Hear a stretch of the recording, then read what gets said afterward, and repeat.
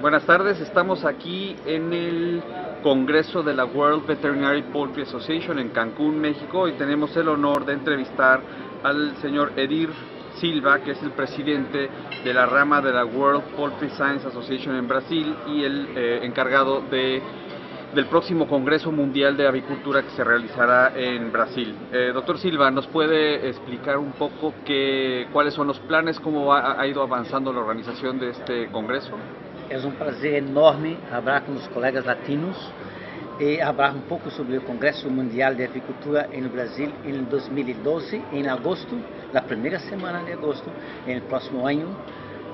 Casi todo está listo para receber os amigos. Temos uma expectativa de trabalhar com 3 mil a 4 mil participantes no evento. Será um dos mais grandes eventos na avicultura do mundo em todos os setores da avicultura.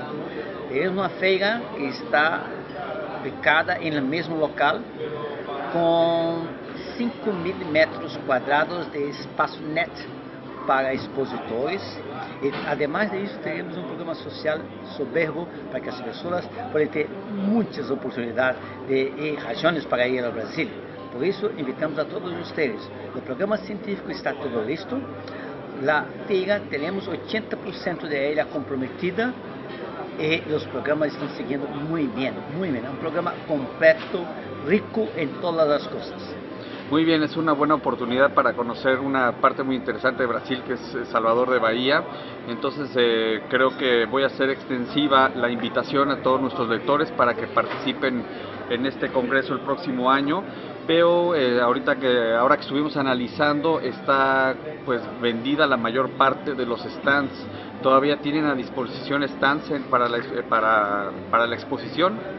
Sí, Nosotros hemos vendido, mas há possibilidade de expandir a área para outros que interessados em, em, em fazer a exibição em la feira. E o programa estará na Bahia, que é a parte mais vieja, mais antiga do Brasil, mas é claro que teremos um programa social que as pessoas podem visitar Rio de Janeiro, a, a Foz do Iguaçu, a área de Amazonas e a área industrial do Brasil, por que não? É, Salvador não é a área avícola, mas teremos um programa de contato com empresas, aqueles que interessados em contato com empresas, nós teremos o enorme prazer de fazer o contato com empresas brasileiras para que possa ser visitas, contatos comerciais e conhecer o que produzimos bem na agricultura mundial. Perfecto, doctor Silva, pues le agradecemos mucho su participación y seguiremos en contacto para seguir informando a nuestros lectores. Muchas gracias. Agradecemos a todos y esperamos todos en Brasil en el próximo año.